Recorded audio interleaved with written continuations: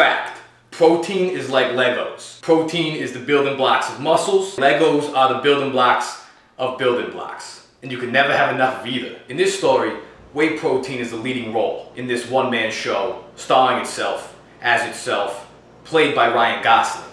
It's the only movie on. Now there are a ton of options out there, so make sure you pick the best one. You're gonna be with this protein for the rest of your life. This is your best friend. This is your protein. Now let's go over a few brands. Join me.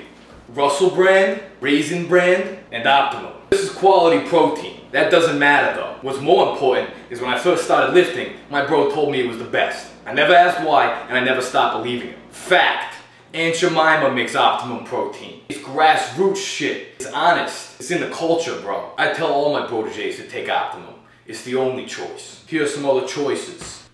Syntha-6. This is crack. This is cake. This milkshakes. It's delicious, no doubt, but this is so not a value play. There's not enough servings here, and it's less than 50% pure. Syntha-6 is 50% protein and 50% incinerated Snicker bars. Not worth the money. You should be leasing a Civic, bro, not buying an M6. Isopure. This shit's very expensive, super pure.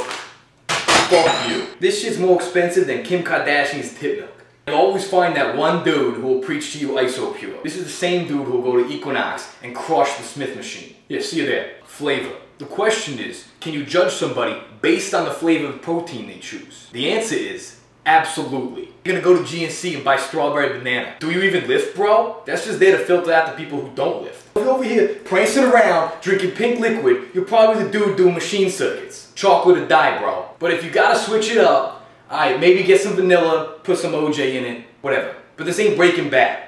This is bro science. When it comes to calculating the value of your protein, I have a master's in economics, chemistry, and Bayesian. Masturbation. There's no two ways around it. Protein is expensive. Protein's like drinking money. It doesn't fit in your budget because it doesn't belong in your budget. Budgets are for things you can do without. Protein is exempt. You buy your protein and then you make your budget. There are four things to be considered here. Price, serving, and grams per serving. You want to check the stats.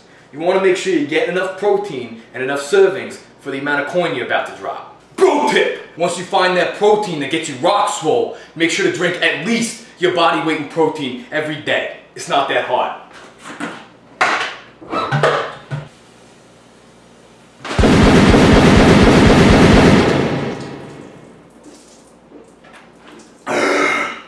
That's bro science.